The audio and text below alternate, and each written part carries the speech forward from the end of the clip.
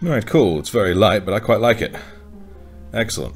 Right, now we'll head over to the main... Actually, no. I'm going to completely finish this one up. Add some Stormhost Silver. There we go. Nice. Excellent. Alright, so now I've got this twinge of Mephiston Red on here. There we go. It's very slight, but it is very good for it. Excellent. A little bit in the eye as well. Excellent. Cool. Nice. Right, I'd say that's the helmet. Good and dusted. Grande dandy.